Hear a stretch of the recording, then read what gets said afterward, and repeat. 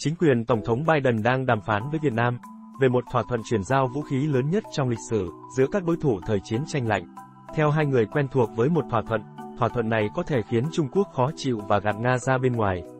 Một gói thầu có thể được hoàn thành trong năm tới, có thể hoàn thiện mối quan hệ đối tác mới được nâng cấp giữa Washington và Hà Nội, với việc bán một phi đội máy bay chiến đấu F-16 của Mỹ khi quốc gia Đông Nam Á này phải đối mặt với căng thẳng với Bắc Kinh ở khu vực Biển Đông đang tranh chấp. Thỏa thuận này vẫn đang ở giai đoạn đầu, với các điều khoản chính xác vẫn chưa được thống nhất và có thể không đạt được sự đồng thuận. Nhưng đó là chủ đề chính của quan hệ Việt-Mỹ, được đàm phán chính thức tại Hà Nội, New York và Washington trong tháng qua. Washington đang xem xét cơ cấu các điều khoản tài chính đặc biệt cho các thiết bị đắt tiền, có thể giúp Hà Nội đang thiếu tiền mặt, thoát khỏi sự phụ thuộc truyền thống vào vũ khí giá rẻ do Nga sản xuất, theo một nguồn tin khác giấu tên. Người phát ngôn của Nhà Trắng và Bộ Ngoại giao Việt Nam không trả lời yêu cầu bình luận. Chúng tôi có mối quan hệ an ninh rất hiệu quả và đầy hứa hẹn với người Việt Nam và chúng tôi nhận thấy sự chuyển động thú vị từ họ trong một số hệ thống của Mỹ, đặc biệt là bất kỳ thứ gì có thể giúp họ giám sát tốt hơn lĩnh vực hàng hải của mình, có thể là máy bay vận tải và một số nền tảng khác, một chuyên gia cho biết. Một phần trong những gì chúng tôi đang thực hiện trong nội bộ khi chính phủ Hoa Kỳ là tạo ra cách có thể cung cấp các lựa chọn tài chính tốt hơn cho Việt Nam để mang lại cho họ những thứ thực sự hữu ích. Một thỏa thuận vũ khí lớn giữa Mỹ và Việt Nam có thể khiến Trung Quốc, nước láng giềng lớn hơn của Việt Nam, vốn đang cảnh giác với những nỗ lực của phương Tây nhằm gây khó dễ cho Bắc Kinh. Tranh chấp lãnh thổ âm ỉ kéo dài giữa Việt Nam và Trung Quốc đang nóng lên ở Biển Đông và giải thích tại sao Việt Nam đang tìm cách xây dựng hệ thống phòng thủ trên biển.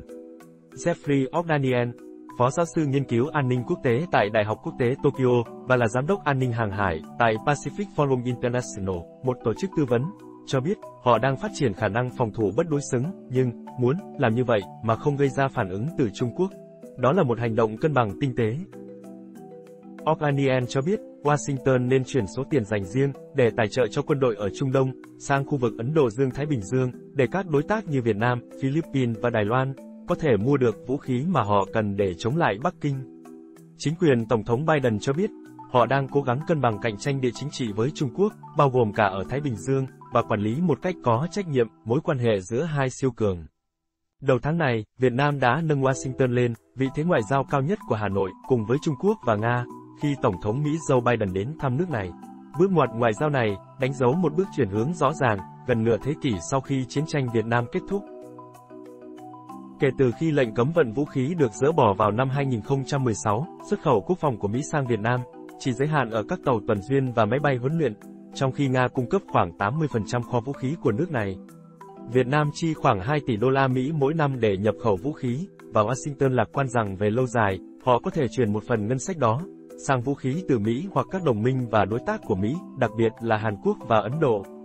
Chi phí vũ khí của Mỹ là một trở ngại lớn, cũng như việc đào tạo về thiết bị, và là một trong những lý do khiến nước này mua ít hơn 400 triệu đô la Mỹ vũ khí của Mỹ trong thập kỷ qua. Quan chức Mỹ nói, các quan chức Việt Nam nhận thức rõ rằng họ cần phải phân tán của cải. Chúng ta cần đi đầu trong việc giúp Việt Nam đạt được những gì mình cần.